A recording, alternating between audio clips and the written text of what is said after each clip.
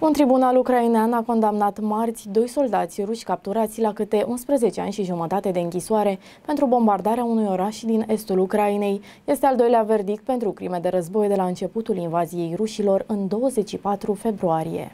Cei doi militari ruși capturați au pledat vinovați săptămâna trecută în cel de-al doilea proces pentru crime de război din acest conflict.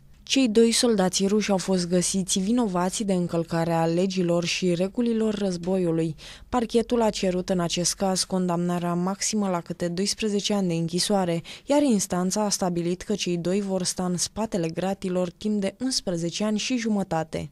Aceștia făceau parte dintr-o unitate de artilerie care a tras către ținte din regiunea ucraineană Harkov, dinspre Belgorod, regiune aflată în Rusia. Tirul de artilerie a distrus o instituție de învățământ din orașul Derhaci, au afirmat procurorii.